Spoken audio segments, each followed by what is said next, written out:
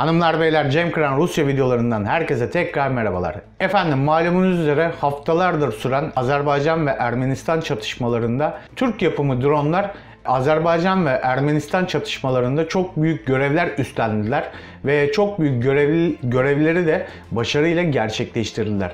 Bugün Azerbaycan Savunma Bakanlığı dünyaya bir fotoğraf servis etti.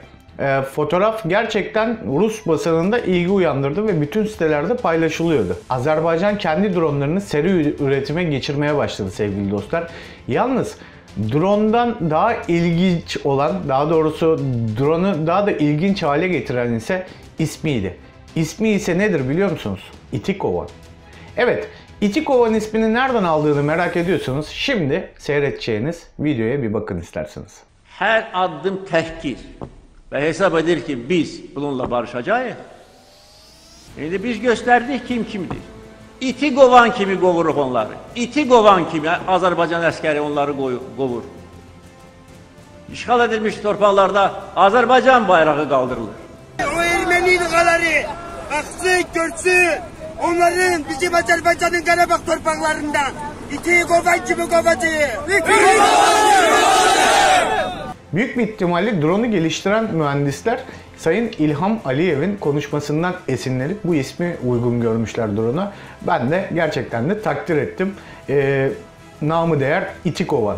Ve gerçekten de öyle bir kovuyor ki bu askerleri, e, özellikle Ermeni askerlerini kameralardan da görüyorsunuz, drone kameralarından sığınaklara kaçıyorlar. Bu arada sığınak demişken geçen attığım videoyu Soğuk Savaş'ta yapılmış Moskova'nın merkezine yapılmış yerin 65 metre derinliğinde ve Türkiye'ye bile bombalama planları yaptıkları bir sığınağa girdim. Ve bu sığınan videosunda şuradan yukarıdan çıkacak yerden izleyebilirsiniz. Çok büyük bir sığınak. İşte dediğim gibi Ermeni, Ermeni askerler sığınaklara kaçıyor, siperlere kaçıyor bu dronların sesini duyduğu zaman bile. Bu enteresan haberden sonra sevgili dostlar bir de e, Azerbaycan askerlerinin Karabağ'da edindikleri ganimetlere bakalım. Şimdi malumunuz e, internet mecrasında görüyorsunuz Azerbaycan askerleri top, tüfek, füze, tank bir sürü şey ele geçiriyorlar. Ama inanın hiçbiri şu anda izleyeceğiniz ganimetler kadar herhalde Azerbaycan askerlerini sevindirmemiştir.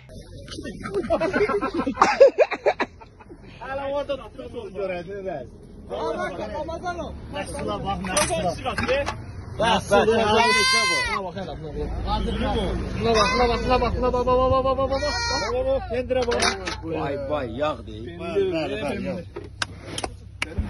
Şorabalar Qoca, bəs sən şorabalar ilə atmaq düşürdəsən ora. Hə, tök. Boşaqsız yanına. Hə, qabaraqla tut onu. Nəsimiyə göstər o pendirizadır. Hə, Nəsimizadır. Ürək partlayacaqdı. Tükür, ha? Ama birisi ne oldu? Kırmızı. Bu çekimler yakın bir zaman içerisinde Azerbaycan askerlerinin ele geçirdiği eski Ermenistan köyünden e, gelme sevgili dostlar. Ermeni siviller, orada yaşayan köylüler köylerini terk etmeden önce bazı eşyalarını mecburen orada bırakmak zorundalar. Takdir ederseniz ki bir asker e, cephe koşullarında böyle bir şeyi elde ettiği zaman tank ve toptan daha değerlidir e, peynir veyahut da keçi. Düşünsenize keçinin sütünü bile içebilirsiniz.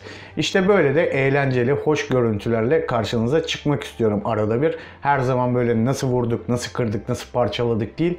Böyle de insani görüntüler, e, aynı zamanda da eğlenceli görüntülerle karşınıza çıkmak istiyorum. Diğer yandan sevgili dostlar Rusya'da neler konuşuluyor?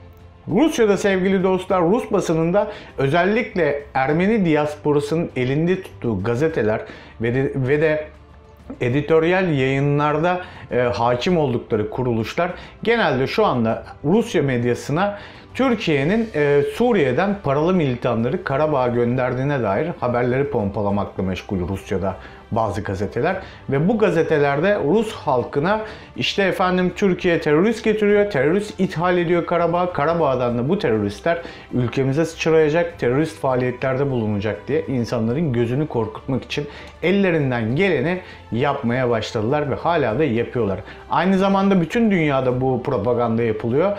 Tabii ki bu propagandanın hiçbir şekilde ben kaynağını göremedim, efendime söyleyeyim kanıtını göremedim.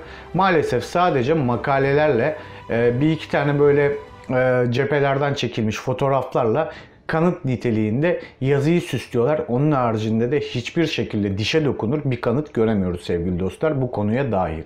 Evet sevgili dostlar bugünlük buradan aktaracaklarım bu kadar. Şuradan çıkacak videoları tıklayıp eski videolarımı da seyredebilirsiniz. Eski dediğim daha geçen hafta attığım videolar aslında. Evet sevgili dostlar takipte kalın, sevgiyle kalın diyorum. Paka paka.